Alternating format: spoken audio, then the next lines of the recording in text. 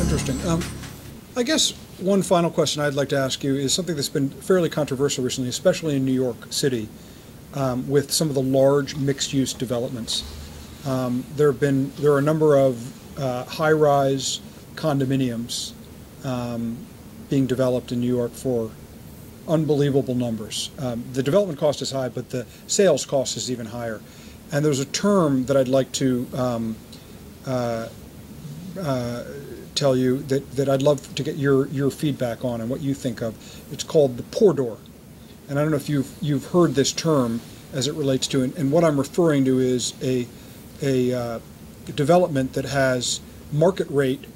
Uh, it's usually for for sale, but it could be also for for rental. Market rate numbers that are sky high, but as part of that development, there's also a um, low income or moderate income component that are being sold at, at lesser prices. And those two, uh, those two uh, different uh, target groups that they're that they're being marketed towards have have um, have separate entrances. So the moderate or uh, low income housing would have an entrance perhaps here, and the the market rate uh, entrance for the wealthier uh, buyers or renters of the units would have a entrance over on the other side, for example. So they've been the, the term poor door has been used in this separate separate uh, you know separating of, of the two different either rental renters or, or buyers of the units. What are, what are your thoughts on on this? And you know there are arguments that say you know that's that's demeaning to those people. They shouldn't be. They should be able to enter from the same entrance as everybody else. The developers are saying, "Gee, you know, we can get a higher number if people are separated, et cetera, et cetera." How do you feel about that? Uh, that's an interesting question, Andrew. Um, 80-20s, um, and when I say 80-20s in New York, thousands and thousands of units have been built with uh, New York State and New York City Housing Finance Agency tax-exempt financing.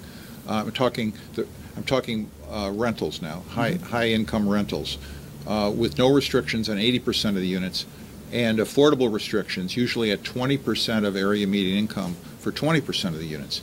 And in addition to um, the tax exempt financing, those properties uh, enjoy some real estate tax benefits over a period of years. So there's a there's a public argument, which um, is, is probably a pretty good argument, that um, the, the units that are 20% uh, in low income ought to have the same conveniences and the same benefits and the same amenities as the 80%.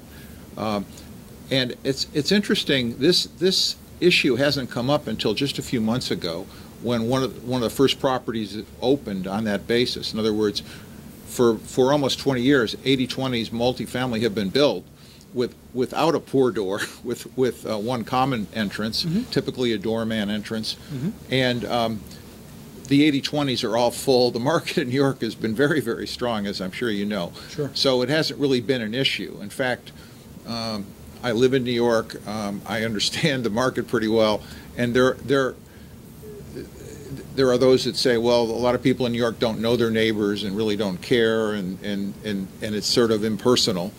Um, and I, I prefer to think of it as people sort of stay to themselves to some degree. So um, these buildings have been quite successful and they're, and in quite good areas. Um, it recently became an issue because a developer built a door uh, separate for the 20% and the 80%. Sure. My guess is public policy and so on um, will ultimately say that that's not a good idea, it's not good public policy, and, and it probably won't be permitted in the future during the review of the plans and so on. There's nothing in the federal legislation, there's nothing now currently in the city legislation that, that would prohibit that. Um, But I, I, it, it's, it, to me, it just, it's just not good public policy, and I really think that, um, given the advantages that, uh, the developer would get through the uh, tax exempt financing and the tax abatement, that um, public policy should be served by uh, a common entrance. Interesting, interesting. It's a very, it's a very interesting uh, subject, and I think that we'll probably hear a lot more about it going forward. And to your point, there'll probably be some, some legal challenges to it and so forth, so that it will, we'll follow that with interest. Uh, Garry, I want to thank you for joining us today. Thanks very much. Uh, Garry Munson of Whitney Capital Company. Thanks very much. Thank Thank you. you for joining us at Llenrock Blog.